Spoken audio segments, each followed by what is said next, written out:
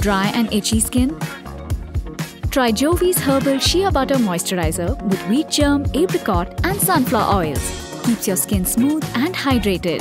Jovees Herbal Shea Butter Moisturizer. Try now.